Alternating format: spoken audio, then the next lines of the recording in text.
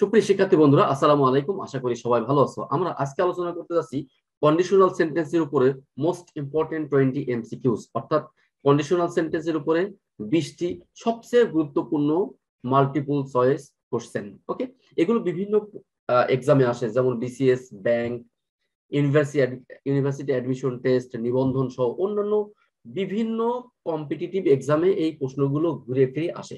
এজন্য বিভিন্ন এক্সামের জন্য এই প্রশ্নগুলো অত্যন্ত গুরুত্বপূর্ণ। আশা করি এই প্রশ্নগুলো তোমরা যদি মনোযোগ সহকারে দেখো, তাহলে এই কন্ডিশনাল সেন্টেন্স কেন্দ্রিক যে এমসিকিউ প্রবলেম তোমাদের এটা আশা করি এই ভয়টা তোমাদের দূর হয়ে যাবে এবং তোমরা এক্ষেত্রে যথেষ্ট এক্সপার্টনেস এর পরিচয় দিতে পারবা ওকে তো আমরা ছোট্ট একটা চ্যানেল ইন্ট্রোডাকশনের পরেই আমাদের মূল আলোচনায় ফিরে আসছে। আশা করি আমাদের সাথেই থাকবা।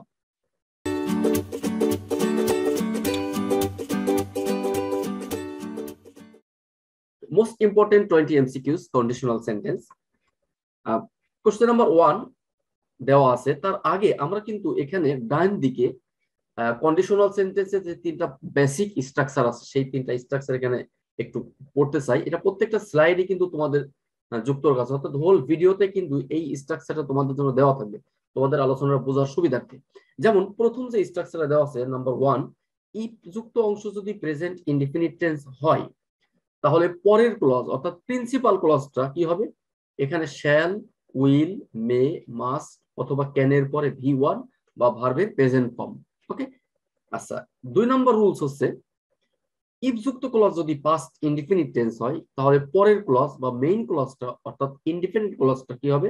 উড কুড মাইট এরপরে ভি ওয়ান বা ভার্বের প্রেজেন্ট ফর্ম এরপরে তিন নম্বর রুল হচ্ছে ইফযুক্ত ক্লজ যদি পাস্ট পারফেক্ট টেন্স হয়, তাহলে পরের ক্লজটা অর্থাৎ মেইন ক্লজটা বা প্রিন্সিপাল ক্লজটা বা ইন্ডিপেন্ডেন্ট ক্লজটা কি হবে? Would have would have might have এরপরে ভি থ্রি বা ভার্বের পাস্ট পার্টিসিপল ফর্ম ওকে আচ্ছা প্রথম প্রশ্নটা কি আছে? If you had done this work you dash আমি আবার পড়ছি if you had done this if you had done this work you dash okay দেখো, এখানে প্রথমে ইফ যুক্ত ক্লজটা কিন্তু পাস্ট পারফেক্ট টেন্স আছে। তাহলে আমরা কি জানি? ইফ যুক্ত ক্লজ যদি পাস্ট পারফেক্ট টেন্স হয়, তাহলে মেইন ক্লজটা কি হবে? উড এর পরে ভি থ্রি উড হ্যাভ এর পরে ভি আচ্ছা এবং প্রশ্ন হচ্ছে যে ডি নাম্বার এখানে উড হ্যাভ বিন পানিশড কেন হলো? দেখো, এক্ষেত্রে কিন্তু বলা হচ্ছে, তুমি যদি কাজটা করতে তাহলে কিন্তু তোমাকে পানিশমেন্ট দেওয়া হতো অর্থাৎ তুমি শাস্তিপ্রাপ্ত হতে, অর্থাৎ এটা কিন্তু প্যাসিভ হবে। আমরা জানি যে এই উড হ্যাভের প্যাসিভ কি হবে? এরপর একটা বিন বসবে। এই জন্য আমাদের কিন্তু বি নাম এ নাম্বার আনসার না হয়ে আমাদের আনসার কিন্তু ডি হচ্ছে, কারণ এটা প্যাসিভ হবে এই জন্য বিন বসবে। Question number two were I king আচ্ছা ওয়ার আই কিং এটা বলতে আসলে কিন্তু বোঝাচ্ছে if I were a king কারণ if I were a king এখানে ইফ ছাড়া যদি লিখি, তাহলে কি হচ্ছে? ওয়ার আই কিং তাহলে আচ্ছা ইফ যুক্ত ক্লজ যদি পাস্ট ইনডিফিনিট টেন্স হয়, যেহেতু ওয়ার আই কিং এটা কিন্তু পাস্ট ইনডিফিনিট তাহলে কি হয়? উড কুড মাইটের পরে ভার্বের প্রেজেন্ট ফর্ম তাহলে উড কুড মাইটের পরে ভার্বের প্রেজেন্ট ফর্ম কোথায় আছে? বি নাম্বারে উড হ্যাভ এ টেন্ডেন্সি দেখো, এখানে উড ভার্বের উড স্ট্রাকচারের উড আর এখানে হ্যাভ কিন্তু ভি ওয়ান অর্থাৎ ভার্বের প্রেজেন্ট ফর্ম ওকে আচ্ছা প্রশ্ন হচ্ছে, এ কেন হইল না? এখানেও তো উডের পরে ভার্বের বেস ফর্ম এ হবে না কারণ যে যদি আমি রাজা হতাম, তাহলে I would be a tendency দেখো, এখানে কিন্তু আমার একটা টেন্ডেন্সি বা প্রবণতা থাকতো গরিবদের সাহায্য করার জন্য। তাহলে প্রবণতা থাকা বোঝাতে কিন্তু বি না হয়ে অবশ্যই ভার্বটা কি হবে? হ্যাভ হবে ওকে সুতরাং এ নাম্বার হচ্ছে না সি নাম্বার উড উডের পরে তো বিন সরাসরি বসে না, আবার ডি নাম্বারে উড হ্যাভ বিন তো হবেই না, কারণ এটা এটা তোমার যখন ইফযুক্ত ক্লজ পাস পারফেক্ট টেন্স হয়, সেক্ষেত্রে আমরা এটা ব্যবহার করি। Question number three give her a telephone number to ring dash she gets lost বলা আছে, তাকে একটা টেলিফোন নাম্বার দাও, পাশে যদি সে হারিয়ে যায়, এই যে এরকম যদি পাশে যদি সে হারিয়ে যায়, এরকম ক্ষেত্রে আমরা ইন কেস ব্যবহার করি। অর্থাৎ কোনো সতর্কতামূলক ক্ষেত্রে, যেমন তাকে একটা টেলিফোন নাম্বার দাও, পাশে যদি সে হারিয়ে যায়, এটা কিন্তু কোনো কন্ডিশন বোঝাচ্ছে না। যদি এরকম কোনো কন্ডিশন প্রকাশ না করে, সেক্ষেত্রে আমরা কিন্তু ইফ ব্যবহার না করে কি ব্যবহার করব? ইন কেস ব্যবহার করব। যেমন আমরা যদি এ নাম্বার ব্যবহার করি এ নাম্বার আনলেস বলতে আসলে বোঝাচ্ছে if she does not if she does not এখন একটা বিষয় খেয়াল করো এই আনলেস যদি দেই, তাহলে এটা হবে না কেন? দেখো, তাকে টেলিফোন নাম্বারটা দাও রিং করার জন্য। যদি সে হারিয়ে যায়, দেখো, এটা কিন্তু কোনো অর্থ বহন করে না। যদি সে হারিয়ে যায়, তাহলে তাকে টেলিফোন নাম্বার দাও। যদি একজন মানুষ হারিয়ে যায়, তারপরে তাকে টেলিফোন নাম্বার দিয়ে কি হবে? এটা একটা প্রশ্ন। এজন্য এ নাম্বার মিনিংফুল হয় না। এজন্য আমাদের সঠিক আনসার কত? ডি নাম্বার আশা করি বুঝতে পেরেছ। এবার question number four I will phone you when I dash the news আচ্ছা আমরা জানি যে একটা সেন্টেন্সে কিন্তু দুইটা ফিউচার ক্লজ বসবে না, দুইটা ফিউচার ইনডিফিনিট বসবে না। তাহলে যেহেতু এখানে আই উইল ফোন ইউ এটা ফিউচার ইনডিফিনিট নিশ্চয়ই হোয়েন যুক্ত অংশটা কি হবে? প্রেজেন্ট ইনডিফিনিট টেন্স হবে। তাহলে কি হবে? B number I get the news question number five দেখো, এক্ষেত্রে আমাদের হি উড হ্যাভ কাম অর্থাৎ এই যে he would have come principal ক্লজটা would have এর পরে ভি থ্রি অর্থাৎ ভার্বের পাস্ট পার্টিসিপল ফর্ম আছে। যেহেতু প্রিন্সিপাল ক্লজটা উড হ্যাভ এর পরে ভার্বের পাস্ট পার্টিসিপল ফর্ম অর্থাৎ সাবঅর্ডিনেট ক্লজ বা ইফ যুক্ত ক্লজ অবশ্যই কি হবে? পাস্ট পারফেক্ট টেন্স হবে।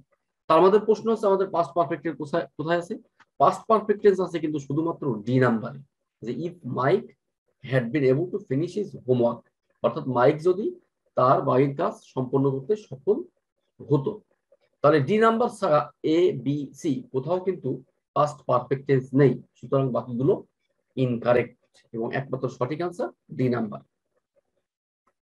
question number six if the primary candidates dash more on the issues, the results of the election would have been, দেখো এখানে কিন্তু principal clause the results of the election would have এর পরে ভিতরি অর্থাৎ would have বিন তাহলে আমরা বুঝতেই পারছি যে ইফ যুক্ত ক্লজটা পাস্ট পারফেক্ট টেন্স হবে। তাহলে পাস্ট পারফেক্ট টেন্স কোথায় আছে? শুধুমাত্র বি নাম্বারে এই জন্য বি নাম্বার আনসার বাকি কোথাও কিন্তু পাস্ট পারফেক্ট টেন্স নেই। এই জন্য বাকিগুলো ভুল। Question number seven, if the British government dash no fear of the hostility, তাহলে দেখো Gandhi's tactics would have availed দেখো এখানে গান্ধীস ট্যাকটিক্স অর্থাৎ principal ক্লজটা would have availed would have এর পরে ভিতরি অর্থাৎ উড হ্যাভ এর পরে ভিতরি থাকার মানে কি? তাহলে ইফ যুক্ত ক্লজ নিশ্চয়ই পাস্ট পারফেক্ট টেন্স হবে। তাহলে আমাদের পাস্ট পারফেক্ট টেন্স কোথায় আছে? পাস্ট পারফেক্ট টেন্স আছে শুধুমাত্র ডি নাম্বারে হ্যাড হ্যাড এক্ষেত্রে হ্যাড হ্যাড এর মানে দুইটা হেড এর ব্যবহার দেখে অনেকে হয়তো আশ্চর্য হতে পারে। কিন্তু দেখো, প্রথম হেডটা হচ্ছে স্ট্রাকচারের হেড অর্থাৎ অক্সিলারি ভার্ব আর পরের হেডটা হচ্ছে হ্যাভের ভি থ্রি অর্থাৎ হচ্ছে ভি থ্রি ভার্বের past participle form question number eight if you make delay দেখো ইফ যুক্ত ক্লজ এখানে কিন্তু প্রেজেন্ট ইনডিফিনিট টেন্স তাহলে প্রিন্সিপাল ক্লজ অর্থাৎ এই ইউ যুক্ত ক্লজটা এক্ষেত্রে কি হতে পারে? শ্যাল উইল মে মাস্ট অথবা ক্যান তাই না? তোমরা ডান দিকে একটু খেয়াল করতে পারো এখানে, এই যে ইফ যুক্ত ক্লজ যদি প্রেজেন্ট ইনডিফিনিট হয়, তাহলে প্রিন্সিপাল ক্লজ কি হয়? Shall will may must can এরপরে ভি ওয়ান দেখো এক্ষেত্রে যদি ইউ আছে আমরা জানি যে ইউ এর ক্ষেত্রে আমরা শ্যাল না দিয়ে কিন্তু ইউ ব্যবহার করাটা বেটার কারণ ফার্স্ট অপশনের ক্ষেত্রে শ্যাল হয়। তাহলে কি হবে? ইউ উইল মিস অর্থাৎ প্রিন্সিপাল ক্লজ এখানে ফিউচার ইনডিফিনিট টেন্স হবে। Question number nine if he dash on telling lies এক্ষেত্রে একটা বিষয় খেয়াল করো, এক্ষেত্রে আমরা আসলে কিন্তু এই যে দেখো নোবডি উইল বিলিভ অর্থাৎ এখানে প্রিন্সিপাল ক্লজটা ফিউচার ইনডিফিনিট টেন্স তার মানে এখানে ইফযুক্ত ক্লজ কিন্তু সবগুলোই প্রেজেন্ট ইনডিফিনিট টেন্স হবে। না ইফযুক্ত ক্লজ কি হবে? প্রেজেন্ট ইনডিফিনিট টেন্স প্রশ্ন হচ্ছে এ বি সি ডি সবগুলোই কিন্তু প্রেজেন্ট ইনডিফিনিট টেন্সে আছে। প্রশ্ন হচ্ছে কোনটা হবে? এক্ষেত্রে আমরা আরেকটু বাছাই করতে পারি যে হি কিন্তু থার্ড পার্সন সিঙ্গুলার তার মানে ভার্বের সাথে এস বা ইএস যোগ হবে। তাহলে আমরা ভার্বের সাথে এস বা ইএস যোগ নেই যেগুলো সেগুলো বাদ দিতে পারি। যেমন এতে নেই তাহলে এ নাম্বার বাদ দিলাম। এখন প্রশ্ন হচ্ছে যে ডি নাম্বার প্রথমে বাদ, কারণ যুক্ত করা যেখানে ফিউচার ইন্ডিপেন্ডেন্ট টেন্স হবে না। প্রশ্ন হচ্ছে বি এবং সির ভিতর কোনটা হবে? দেখো, আমরা জানি যে একটা ফ্রেজ আছে যে গো অন এটা একটা ভার্বাল ফ্রেজ গো অন মানে চালিয়ে যাওয়া। যেহেতু পরে অন প্রিপোজিশন আছে, তাহলে বুঝতেই হবে যে আগে নিশ্চয়ই গো হবে। তাহলে if he goes on telling lies সে যদি মিথ্যা মিথ্যা বলা চালিয়েই যায়। ওকে কন্টিনিউস অন এরকম কিন্তু কোনো ভার্বাল ফ্রেজ নেই। এই জন্য বি নাম্বার হবে না। শুধুমাত্র সঠিক answer C number question number ten if the sun did not shine দেখো এখানে ইফ যুক্ত ক্লজ কিন্তু পাস্ট ইনডিফিনিট টেন্স তাহলে মেইন ক্লজটা কি হতে পারে? মেইন ক্লজটা আমাদের একমাত্র বি নাম্বারই সঠিক, কারণ উড নটের পরে ভি ওয়ান অর্থাৎ রাইপেন অর্থাৎ সূর্য যদি আলো না দিত, তাহলে ফল পাকতো না। If the sun did not shine fruits would not ripen অর্থাৎ এখানে প্রিন্সিপাল ক্লস অর্থাৎ ফ্রুট যুক্ত ক্লজটা কি হবে? উড কুড মাইট এর পরে ভি ওয়ান অর্থাৎ ভার্বের প্রেজেন্ট ফর্ম এবং এর ক্ষেত্রে শুধুমাত্র বি নাম্বার সঠিক। Question number eleven if cigarettes were banned দেখো এখানে ইফ যুক্ত ক্লজ কিন্তু past indefinite tense were banned তাই না? তাহলে নিশ্চয়ই এই লাইফ যুক্ত অংশ অর্থাৎ এই যে, এই অংশটা প্রিন্সিপাল ক্লজটা বা শেষের ক্লজটা বা ইন্ডিপেন্ডেন্ট ক্লজটা কি হবে? বা মেইন ক্লজটা কি হবে? এক্ষেত্রে উড কুড মাইটের পরে ভি ওয়ান তাহলে উড কুড মাইটের পরে ভি ওয়ান যদি চিন্তা করি তাহলে এটা কিন্তু শুধুমাত্র ডি নাম্বারেই আছে। কি? যে if cigarettes were banned cigarette যদি বাতিল করা হতো লাইফ উড বিকাম হেলদি জীবনটা আরও স্বাস্থ্যবান হতো। Question number twelve if he wants to play the violin দেখো এখানে ইফ যুক্ত ক্লজটা কিন্তু প্রেজেন্ট ইনডিফিনিট তাহলে আমরা বলতেই পারি যে পরের ক্লজটা বা মেইন ক্লসটা ফিউচার ইনডিফিনিট টেন্স হবে।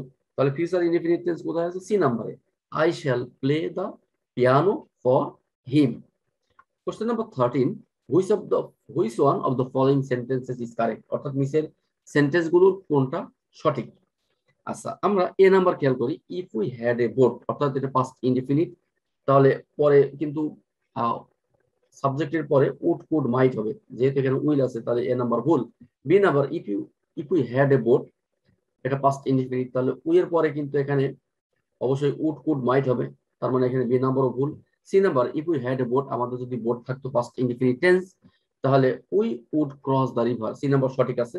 কারণ যেহেতু if we had a boat এটা পাস্ট ইনডিফিনিট টেন্স তার মানে এখানে উডের পরে অথবা কুটের পর অথবা মাইটের পর ভি ওয়ান অর্থাৎ এখানে উড স্ট্রাকচার রুট আর ক্রস হচ্ছে ভি ওয়ান সুতরাং সি নাম্বার সঠিক। ওকে বাকি কোনোটাই সঠিক নয়। Question fourteen had I been in your situation আমি যদি তোমার পরিস্থিতিতে থাকতাম, এক্ষেত্রে দেখো, এই had I been in your situation বলতে আসলে কিন্তু if I had in if I had been in your situation বোঝাচ্ছে। কারণ if I had been in your situation এখানে ইফটা যদি আমরা বাদ দিই, সেক্ষেত্রে আমরা হ্যাডটা প্রথমে দিয়ে, এরপরে সাবজেক্ট এরপরে ভিতরি ব্যবহার করে কিন্তু এই এক্সপ্রেশনটা প্রকাশ করতে পারি। তাহলে এই ইফ যুক্ত ক্লসটা যেহেতু বা সাবঅর্ডিনেট ক্লসটা যেহেতু পাস্ট পারফেক্ট টেন্স আমরা এক্ষেত্রে বলতেই পারি, এক্ষেত্রে উড হ্যাভের পরে ভিতরি এটা সঠিক তার মানে এখানে একমাত্র ডি নাম্বার সঠিক I would have accepted the offer আমি যদি তোমার পরিস্থিতিতে থাকতাম, তাহলে আমি এই অফারটা গ্রহণ করতাম Question number 15. I might have provided a happier dash. Okay. I might have provided. খেয়াল করো এক্ষেত্রে প্রিন্সিপাল ক্লসটা একটু আগে চলে আসছে, খেয়াল করো এই ধরনের সেন্টেন্স দেখে কিন্তু কনফিউজটার কিছু নেই। এক্ষেত্রে প্রিন্সিপাল ক্লসটা প্রথমে চলে আসছে। তার মানে আই মাইট হ্যাভ দেখো এখানে মাইট হ্যাভ এর পরে ভিতরি মাইট হ্যাভ এর পরে I might have provided happier might have এর পরে ভিতরি অর্থাৎ এখানে কিন্তু তার মানে ইফ যুক্ত ক্লসটা পাস্ট পারফেক্ট টেন্স হবে। তাহলে আমাদের প্রশ্ন হচ্ছে ইফ যুক্ত ক্লস পাস্ট পারফেক্ট টেন্স কোথায় আছে? ইফ যুক্ত ক্লস পাস্ট পারফেক্ট টেন্স আছে শুধুমাত্র ডি নাম্বারে যে if I had been the author of that novel আমি যদি সেই নোভেল বা উপন্যাসের লেখক হতাম তাহলে ডি বাদে কোথাও কিন্তু পারফেক্ট টেন্স নেই, সুতরাং বাকিগুলো কোনোটাই সঠিক নয়। Question number sixteen dash I for one would recommend দেখো এখানে আই উড রিকমেন্ড দেখো এখানে উডের পরে ভি ওয়ান আমি সুপারিশ করতাম। দেখো এখানে কিন্তু আই উড রিকমেন্ড উডের পরে ভি ওয়ান প্রিন্সিপাল ক্লস তার মানে এখানে ইফ যুক্ত ক্লসটা নিশ্চয়ই পাস্ট ইনডিফিনিট টেন্স হবে। তাহলে প্রশ্ন হচ্ছে পাস্ট ইনডিফিনিট টেন্স কোথায় আছে? এটা একটা বিষয় আচ্ছা এখন প্রশ্ন হচ্ছে যে এ নাম্বার কি? সমস্যা। এ নাম্বার সমস্যা হচ্ছে যে ইফের পরে কিন্তু ইফ যুক্ত ক্লসে কিন্তু ওয়াজ বসে না। যেমন ইফ সি ওয়াজ টু এটা হবে না, কারণ ইফ যুক্ত ক্লসে ওয়াজ হয় না ওয়ার হয়। B number if she were to decide to go to college তাহলে বি নাম্বার সঠিক, কারণ এক্ষেত্রে এটা কিন্তু past indefinite tense C number past perfect হচ্ছে না, বাকি ডি নাম্বার তো হয় না, সুতরাং একমাত্র বি নাম্বারই সঠিক। কোশ্চেন নাম্বার সেভেন্টিন এক্ষেত্রে সাবঅর্ডিনেট ক্লজ কি হবে অর্থাৎ ইফ যুক্ত ক্লজ কি হবে এটা চাওয়া আছে, তাহলে আমাদের পরের ক্লজটা দেখা লাগবে, এটা কোন টেন্স আছে? দেখো উড হ্যাভ বিন এবং টু পাস দ্য এক্সাম এই যে উড হ্যাভ এর পরে বিন অর্থাৎ V three would have plus V three তাহলে নিশ্চয়ই এখানে ইফ যুক্ত ক্লজটা পাস পারফেক্ট টেন্স হবে। তাহলে ইফ যুক্ত ক্লজ পাস পারফেক্ট টেন্স কোথায় আছে? ইফ যুক্ত ক্লজ পাস পারফেক্ট টেন্স আছে ডি নাম্বারে কেন? হ্যারি স্টাডিড মোর সে যদি আরও বেশি পড়াশোনা করতো। আসলে কিন্তু এটা বোঝাচ্ছে if he had studied more কারণ if he had studied more এটাকে আমরা had I had studied more দিয়েও প্রকাশ করতে পারি। এই জন্য এটাই সঠিক। Question number nineteen okay dash I shall go home দেখো, এখানে কিন্তু principal clause I shall go home আছে। তার মানে এক্ষেত্রে ইফ যুক্ত ক্লজটা নিশ্চয়ই প্রেজেন্ট ইনডিফিনিট টেন্স হবে। তাহলে প্রশ্ন হচ্ছে প্রেজেন্ট ইনডিফিনিট টেন্স কোথায় আছে? দেখো, এ নাম্বারে if he does not come এটা প্রেজেন্ট ইনডিফিনিট টেন্স আচ্ছা B number unless he does not আচ্ছা বি নাম্বার ভুল, কারণ আনলেস নিজেই নেগেটিভ আনলেস থাকার মানে হচ্ছে যে এক্ষেত্রে পরে আর নট বসবে না। দেখো বি নাম্বারে আনলেস থাকার পরে কিন্তু পরে ডাজ নট দিয়েছে এই জন্য ভুল। C number unless he comes দেখো, এক্ষেত্রে সি নাম্বার আনলেস মানে হচ্ছে if he does not if he does not অর্থাৎ এখানে কিন্তু ইফ এবং নটের সমন্বয়ে কিন্তু আনলেস গঠিত হয়েছে। তার মানে আনলেস ই কামস অথবা if he does not come এই এ এবং সি উভয়ই কিন্তু একই অর্থ প্রকাশ করে। সুতরাং এক্ষেত্রে আমরা ডি নাম্বার সঠিক আনসার ধরবো বোথ এ প্লাস সি আশা করি বুঝতে পেরেছ। Question number nineteen if I had known if I had known দেখো এখানে ইফ যুক্ত ক্লজ কিন্তু পাস্ট পারফেক্ট টেন্স তাহলে নিশ্চয়ই প্রিন্সিপাল ক্লজটা কি হবে? Would have would have might have এর পরে ভি থ্রি তাহলে আমাদের would have would have might have এর পরে ভি থ্রি যদি চিন্তা করি, তাহলে সি নাম্বারে আছে। কি হবে? I would have gone to the airport দেখো উড হ্যাভ এর পরে গন অর্থাৎ উড হ্যাভ এরপরে ভি থ্রি বাকি কোথাও কিন্তু এই অপশন নেই, সুতরাং কোনোটাই সঠিক নয়। একমাত্র সি নাম্বার সঠিক। Question number twenty if the Americans at fewer foods with sugar and salt দেখো, এখানে কিন্তু অ্যাট অর্থাৎ পাস্ট ইনডিফিনিট টেন্স আমেরিকান যদি কম খাবার খেত সুগার এবং সল্ট দিয়ে। তো এখানে অ্যাট পাস্ট ইনডিফিনিট টেন্স আমরা জানি ইফ যুক্ত ক্লজ যদি পাস্ট ইনডিফিনিট টেন্স হয়, তাহলে মেইন ক্লজটা কি হবে? অর্থাৎ দেয়ার জেনারেল হেলথ এখানে কি হবে? উড কুড মাইট পরে ভি ওয়ান তাহলে উড কুড মাইট পরে ভি ওয়ান যদি চিন্তা করি, এটা কোথায় আছে? একমাত্র ডি নাম্বারে যে their general health would be better okay